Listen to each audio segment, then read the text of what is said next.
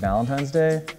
Um, Where do I start with that? I've avoided it my whole life. You're expected to get a gift, and every place is booked. You gotta sit like right next to people that also don't want to be there. And all the guys have been stressing out. All the girls have all these lofty expectations. any married man can tell you, scout and feel what she wants first. Like, you know, three weeks in advance. Nice dinner, flowers when I get home, maybe a baked good. If you got two people who are like totally into it and all just like going nuts, I love you. I don't always like you.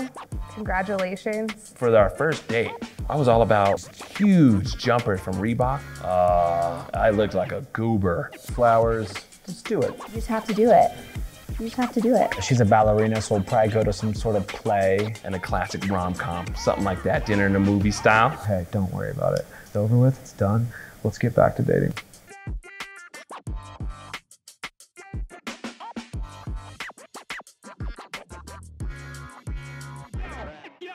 I never know what to say. I honestly have no clue. I just trust the person. Just do whatever looks most natural with my hairline, which led to some interesting interpretations.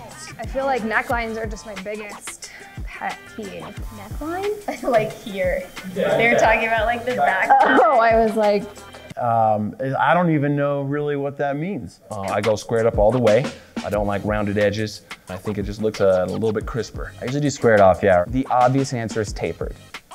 Obviously tapered. I just typically tell them whatever my wife wants because I can't see it. She's the one that has to look at it. Yeah, I can't see the back of my head. It kind of just does what I want. Sometimes it's When it's a bad thing in the back where like the sides are like I definitely have had like the small mirror and realized it's way too high. Just say tapered.